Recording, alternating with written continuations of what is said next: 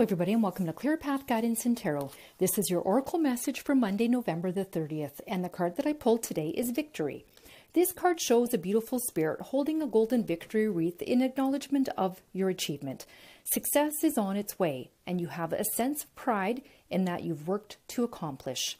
The achievement may be great outer success, or it may be a deep inner change that you've been exerting a lot of effort toward.